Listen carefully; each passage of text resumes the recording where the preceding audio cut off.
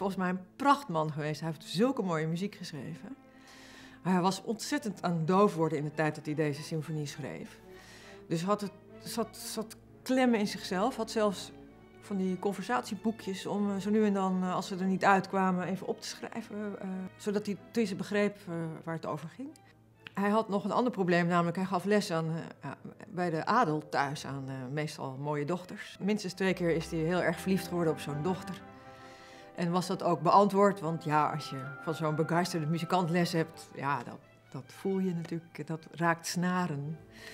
Maar goed, dat kon natuurlijk niet, want hij was niet van adel. Dus dat ging nooit door. Die huwde dan uiteindelijk iemand anders. Dus hij was, zat vast met passie en woede en liefde. En schoonheid. Want schoonheid was zijn wel zijn bronnen. Als iemand mooie schoonheid kan vertolken, dan, uh, dan is dat ook Beethoven. Hij gebruikt in het langzame deel een prachtig liedje. Waar, waarin je gewoon hoort wat een mooie man het is. En dat gaat volgens mij ook over de liefde.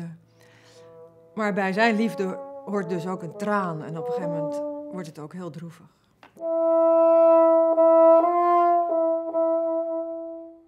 En daar hoor je gewoon zijn onmacht over de liefde.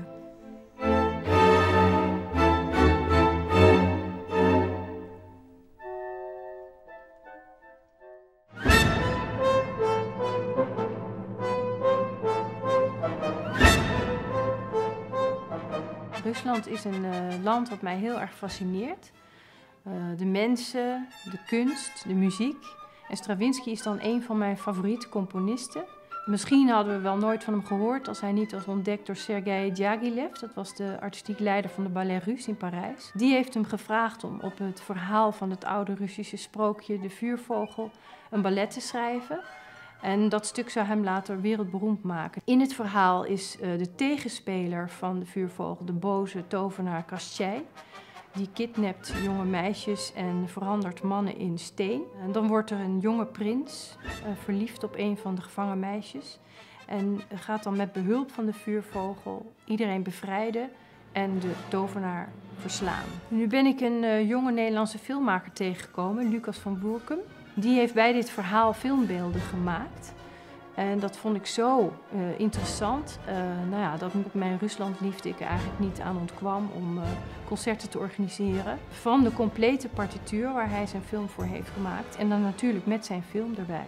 Meestal als er een film wordt vertoond met muziek, dan moet de dirigent de beelden volgen. En in dit geval is het niet zo, want Lucas van Woerkum zit in het orkest met een app op zijn computer en daarmee past je tempo van de film aan aan de interpretatie van de dirigent.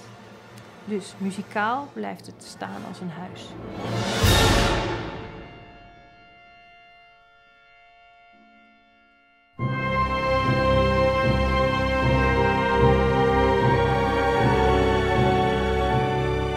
Brahms' First Symphony is tremendously dramatic from the very beginning.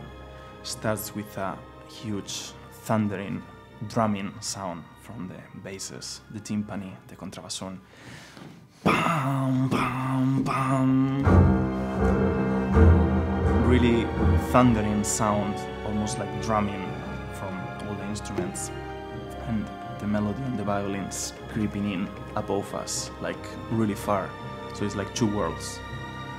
Us in the bottom, and they somehow up there. Brahms' father was a double bass player, and in the way it's written, you can tell that he bear in mind the, the way his father played. It really shows the possibilities of the instrument and its role in the orchestra as a big fundamental, rhythmical, powerful instrument. When I play this music, I really feel the power of the orchestra in the line, bass line I'm, I'm playing, its rhythm and its energy, and that feeling is amazing.